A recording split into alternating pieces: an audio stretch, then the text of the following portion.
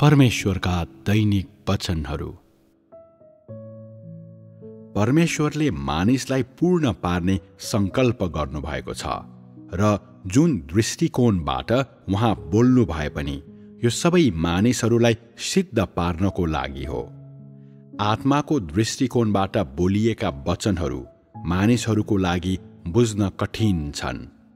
बुझ्नको लागि उनीहरूको क्षमता सीमित भएकाले उनीहरूसँग अभ्यासको मार्ग पत्ता लगाउने साधनहरू छैनन्। परमेश्वरको कामले फरक फरक प्रभावहरू पार्छ र कामको हरेक कदमको पछाडि उहाँको आफ्नै उद्देश्य हुन्छ। यसका अलावा उहाँले फरक फरक दृष्टिकोणहरूबाट बोल्न अत्यावश्यक छ किनकि यसो गरेर मात्र उहाँले मानिसलाई सिद्ध पार्न सक्नुहुन्छ। यदि उहाँले आत्माको दृष्टिकोणबाट मात्र आफ्नो वचन बोल्नु थियो भने परमेश्वरको कामको यो चरण पुरा गर्ने कुनै मार्ग हुने थिएन। उहाँले बोल्ने शैलीबाट तैँले के देख्न सक्छस् भने मानिसहरूको यो समूहलाई सिद्ध पार्न उहाँ दृढ हुनुहुन्छ।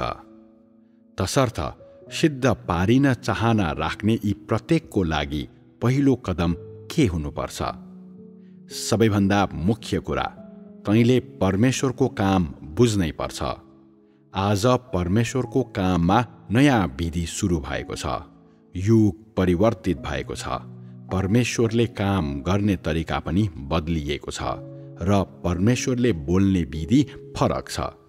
आज उहाँको कामको तरिका मात्र बदलिएको छैन युग समेत बदलिएको छ। अहिले राज्यको युग हो। यो प्रेमिलो परमेश्वरको युग पनि हो। यो सहश्राब्दीय राज्यको युगको पूर्वानुभव हो जुन वचनको युग पनि हो र जसमा मानिसलाई सिद्ध पार्न परमेश्वरले बोल्ने धेरै माध्यमहरू प्रयोग गर्नुहुन्छ र मानिसलाई आपूर्ति प्रदान गर्न फरक फरक दृष्टिकोणबाट बोल्नुहुन्छ।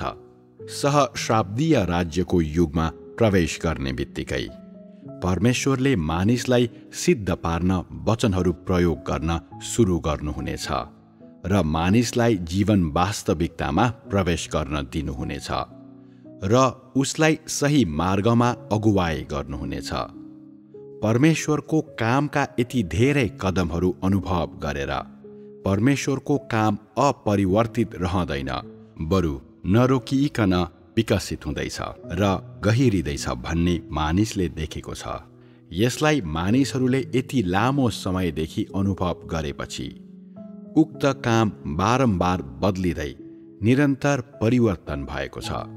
यद्यपि यो जति परिवर्तन भए पनि मानव जातिलाई छुटकारा दिलाउने परमेश्वरको उद्देश्यबाट यो कहिल्यै बाहिर जाँदैन। दस हजार परिवर्तनहरूबाट पनि यो कहिल्यै यसको मूल उद्देश्यबाट टाढा रहँदैन। परमेश्वरको कामको विधि जसरी परिवर्तन भए पनि यो काम सत्यबाट वा जीवनबाट कहिल्यै अलग हुँदैन। काम गरिएको विधिको परिवर्तनले कामको स्वरूपमा गरिने परिवर्तन र जुन दृष्टिकोणबाट परमेश्वर बोल्नुहुन्छ त्यसलाई मात्र सामेल गर्छ। परमेश्वरको कामको केन्द्रीय उद्देश्यमा कुनै परिवर्तन हुँदैन। प्रभाव प्राप्त गर्नको लागि परमेश्वरको स्वरको भाव र उहाँको कामको तरिकामा परिवर्तन गरिएका हुन्।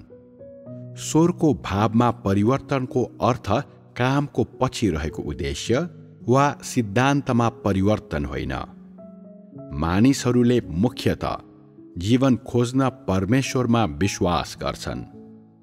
यदि त परमेश्वरमा विश्वास गर्छस् तर पनि जीवनको खोजी गर्दैनस् वा सत्यको चाहना वा परमेश्वरको खोजी गर्दैनस् भने यो परमेश्वरमाथिको विश्वास होइन। र अझै राजा हुनको लागि राज्यमा प्रवेश गर्न खोज्नु वास्तविकता परक हुन्छ र?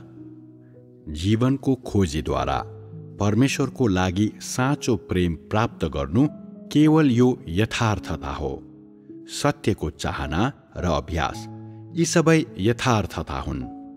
परमेश्वरका वचनहरू पढेर र यी वचनहरू अनुभव गरेर वास्तविक अनुभवको बीचमा तैँले परमेश्वरको ज्ञान लिन सक्नेछस् र साँच्चीकै खोजी गर्नुको अर्थ यही हो।